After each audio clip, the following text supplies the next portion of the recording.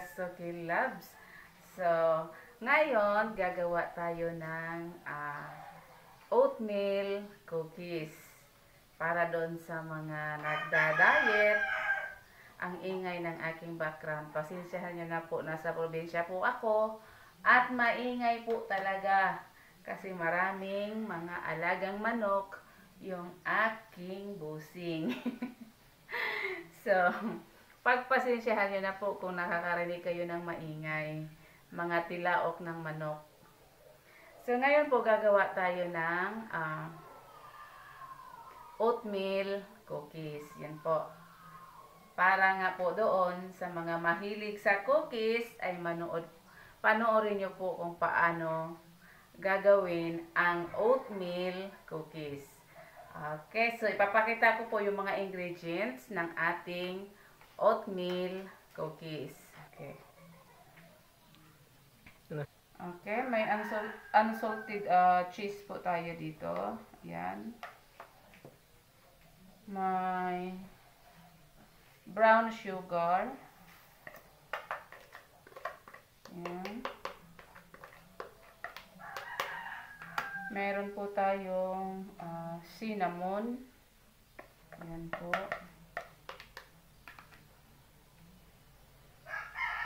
May baking soda po. Ayan.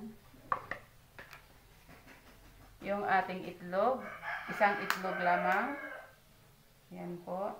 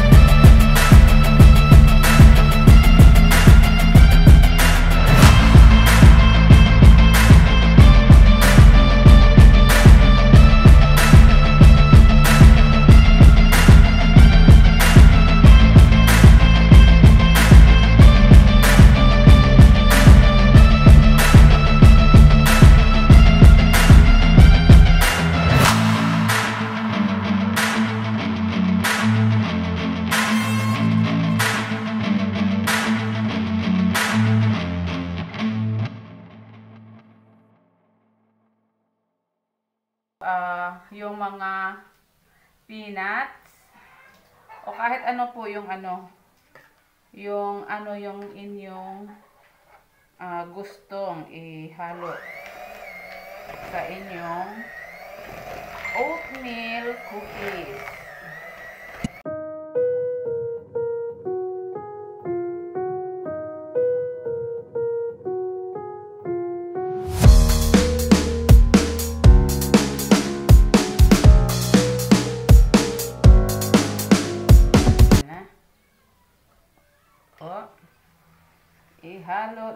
Natin.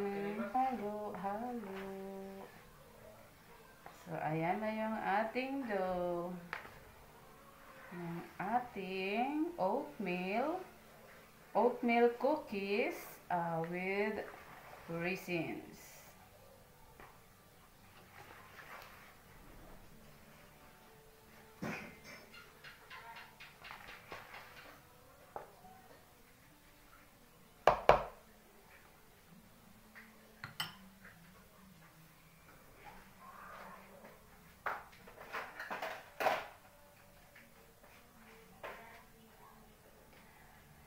Sure po na nakapaghugas na kayo ng kamay. Pag ano. Kasi kailangan natin tong uh, bilugin.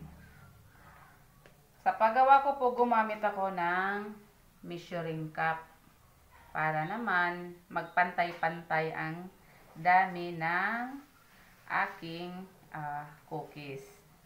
Ayan po. Mas maganda yung sa ginagamit na ano, yung ice cream, ano, ice cream, yung pang scoop ng ice cream. Kasi isang ganun mo lang, tulak, uh, release, tapos yun na, tapos na. So, ganyan lang po siya. Ayan. Kailangan ko po ng maliit na spatula. Ito, may kutsara. po. So, yan. Ganyan lang. Ganyan lang siya kadali. Yan. So, mag ano po tayo. Uh, ayan po. Para pantay po siya, gamitan po natin ng pagpanukat. Ayan po. Ayan. So, ganyan lang yan. Ayan, para ka lang naglalaro. Madali lang naman po gawin. Ayan na po. Ayan na yung ating cookies. Ayan. So, sa mga gustong magnegosyo dyan, o kaya yung mga mahihilig sa cookies, kaya, alams na. Gawa na tayo ng sarili nating oatmeal cookies. Madali lang naman po gawin eh. Sobrang dali niya gawin.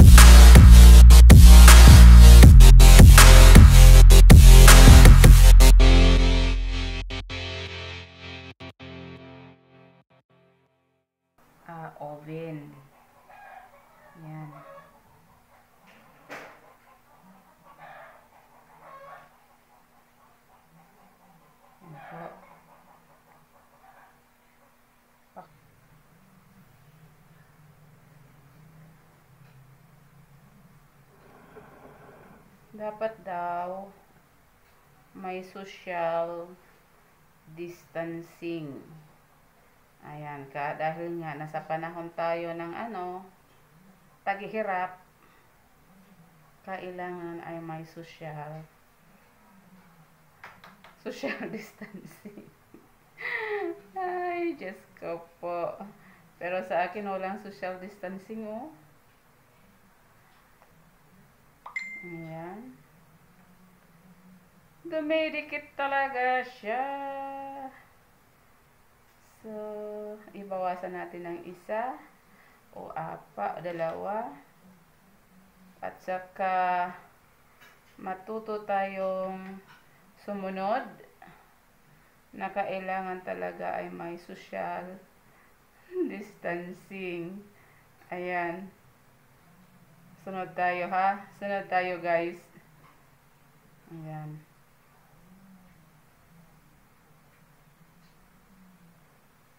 Ayan.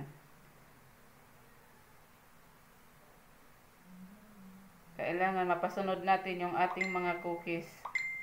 Ayan. So, sundan nyo ko.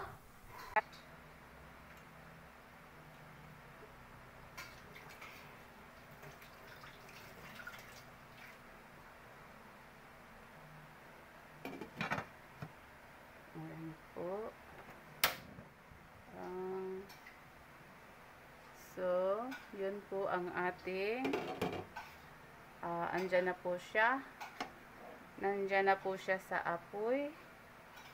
Maya po, uh, pag medyo mainit na siya, ayan, takpan muna natin. Pag mainit na siya, uh, lalagay natin sa uh, low heat yung ating apoy. Yan muna yung gamitin natin. Kasi nga, para doon sa mga walang oven, na pwede tayong gumawa ng oatmeal cookies kahit uh, eto lang ang gamit natin, kawali.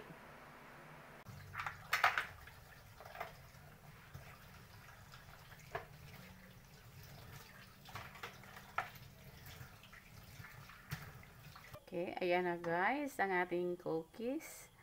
Pagkatapos nyo pa, pa nyo po pala munang ano, patayin yung apoy, palamigin nyo muna ang mga palamigin nyo po muna ng mga ilang minuto para po pagtanggal ng ating cookies ay hindi po ayan, nasisira.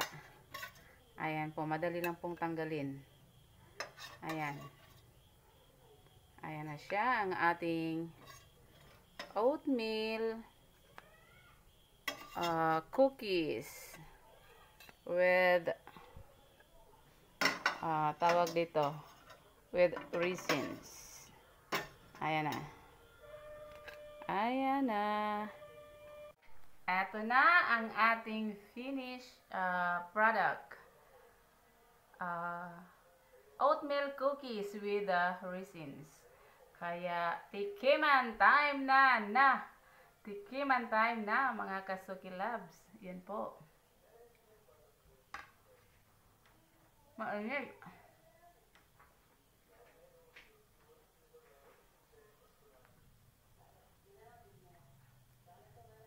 Ayan. Mm. May raisins po sa ilalim. Ayan. Kain tayo! Mm.